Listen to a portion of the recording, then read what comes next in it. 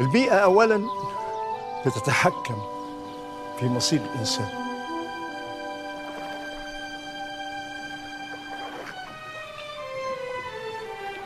بندر المحمودية. بلد صغيرة على ترعة المحمودية. والد حسن البنا الشيخ أحمد البنا كان انتقل إليها من بلده الأصلي بحثا عن الرزق. الأب كان راجل علم ودين. ودرس على إيد الشيخ الإمام محمد عبده في المحمودية فتح محل تصليح الساعات. مش الساعات وبس ده برضه كان بيصلح جراموفونات.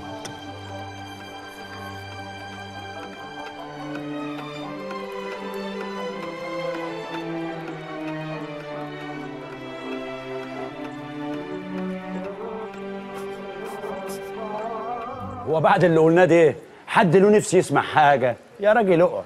اقعد ما تتعبش روحك. ريح نفسك يا راجل اقعد. السلام بلا عليكم. مغنى بلا دياولة وعليكم السلام وعليكم ورحمة الله السلام وبركاته. اتفضل حاج فضل. يزيد فضلك. شيخ أحمد. نعم.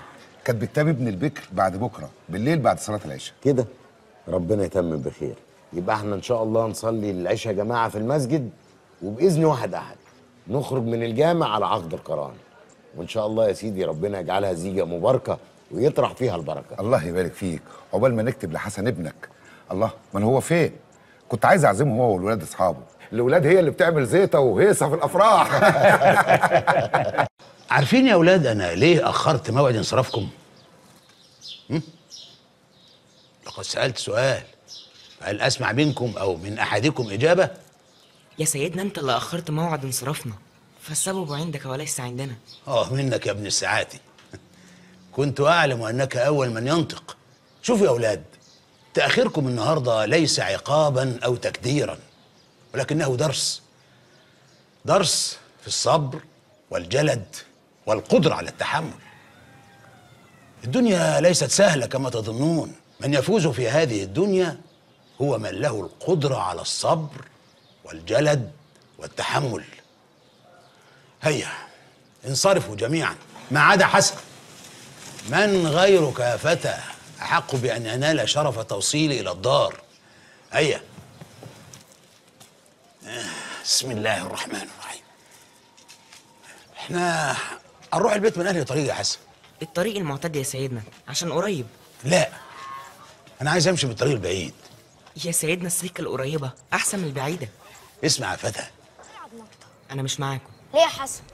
أنا ما تنيش ظهري للركوع إلا قدام ربنا. شوفوا لعبة تانية. تلعب معانا عسكر وحرامية ألعب معاكم. بس لعبة جديدة. إحنا نعمل جيش كفار وجيش مؤمنين. والاتنين يحاربوا بعض. ونشوف مين الغالب ومين المغلوب. طب اشرح لنا اللعبة دي يا حسن. جيش مؤمنين وجيش كفار. وجيش الكفار لازم يكون عدده أكتر من جيش المؤمنين. طب اشمعنى؟ عشان أنا اللي هقود جيش المؤمنين.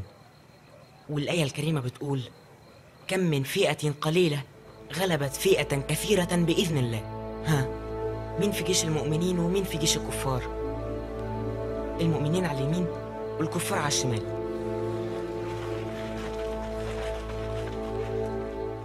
بصراحة يا والدي أنا عاوز أسيب الكتاب وأروح المدرسة. تسيب الكتاب؟ تسيب الكتاب من قبل ما تحفظ القرآن بالكامل؟ ده أمر مستحيل ولا يمكن يحصل. القرآن يا حسن. القرآن يا ابني. القرآن أولا وأخيرا.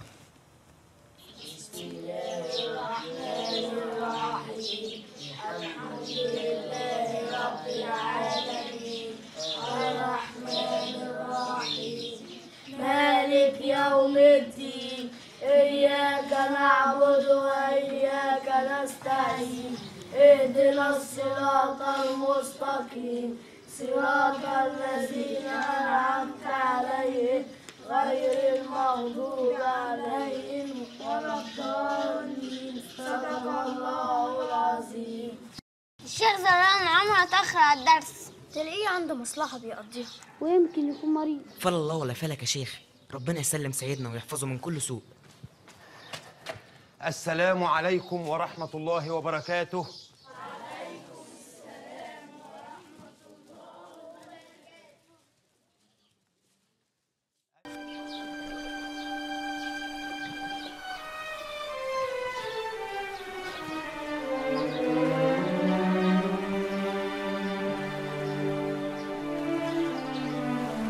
في المدرسة الإعدادية كانت بداية جديدة للتلميذ حسن البنا.